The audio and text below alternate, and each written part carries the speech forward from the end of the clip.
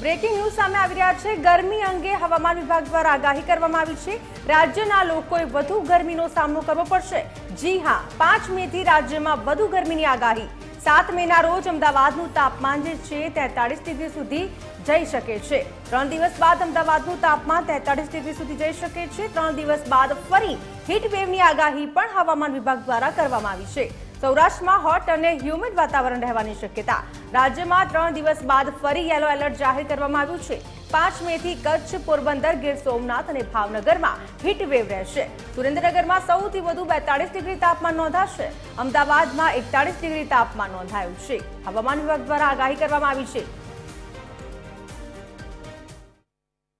अगले सात दिन तक तो ड्राई मौसम रहेगा लेकिन जो तापमान का रिकॉर्ड हुआ है कल सुरेंद्र नगर में मैक्सिमम अधिकतम तापमान जो रिकॉर्ड हुआ है वो 42 डिग्री सेंटीग्रेड था। और आने वाले अगले तीन दिन तक नो लार्ज चेंज में जाएगा। लेकिन उसके अगले तो तीन दिन से बाद वाला आगे वाला जो दिन है उसमें तापमान बढ़ने का संभावना है।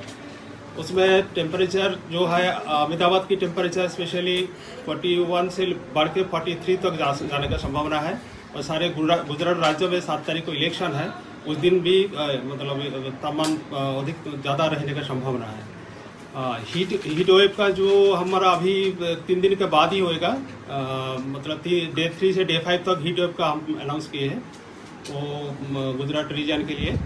एंड जो कोस्टल एरियाज़ है कोस्टल एरियाज़ के लिए सौराष्ट्र का जो साउथ गुजरात रीजन के कोस्टल एरियाज़ है, उसमें भी हॉट एंड ह्यूमिड वेदर की हम संभावनाएँ हैं।